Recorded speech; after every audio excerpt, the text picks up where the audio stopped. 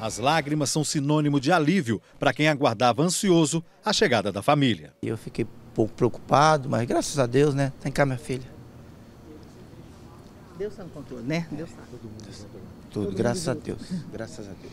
Graças a Deus estamos todo mundo junto, em casa. preocupação com o nosso filho também, né? Os passageiros desembarcaram no aeroporto Santa Genoveva, ainda assustados com tudo o que aconteceu. Até parar, é, o coração dispara. E a gente fica muito pensando na nossa vida aí. Graças a Deus foi tudo muito bem. 106 passageiros levaram um susto no aeroporto internacional Tom Jobim, no Rio de Janeiro.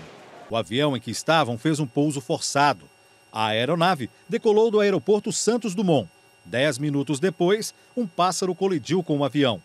Uma das turbinas parou de funcionar, obrigando o piloto a fazer um pouso forçado. Aí teve gente que se assustou, né? No, porque deu um estouro muito forte, né? E entrou um pássaro, parece, foi o que foi avisado, e deu um estouro, né? E aí deu aquele, aquela redução de velocidade do avião, né? Deu para perceber que ele perdeu uh, potência, né? E aí a, deu a segurada, foi, foi bem forte. A tripulação ficou calma, todo mundo apreensivo, mas ninguém entrou em desespero.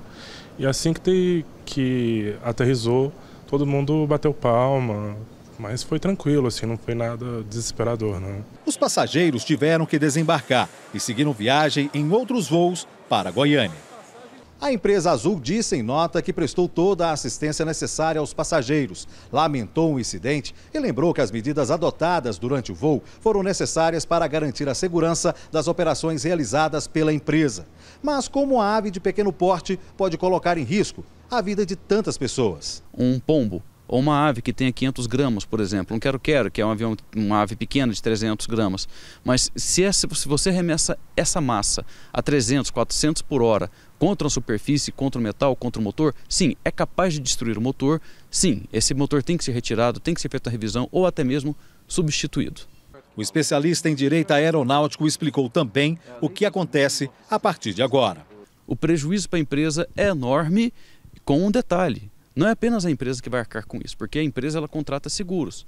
O seguro talvez vai ressarcir parte disso para a empresa. Agora, a seguradora vai querer ir atrás da fonte de quem produziu esse prejuízo, de quem não observou as leis. Geralmente costuma ser o próprio Estado.